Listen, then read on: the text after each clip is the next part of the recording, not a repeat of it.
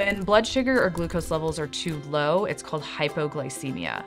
This typically happens when diabetics take too much insulin and lower their blood sugar levels by too much. To respond to it, usually the best thing to do is to take in sugary foods or drinks immediately to try and bring up the blood sugar levels as fast as possible. Sometimes in severe cases, a shot of glucagon is required to bring levels up. Some symptoms of low blood sugar are um, fatigue, irritability, sweating, uh, tingling in your lips and, and your cheeks, an irregular or fast heartbeat, um, if it's very severe, you may have a loss of consciousness, you may have blurry vision, um, you may have a seizure.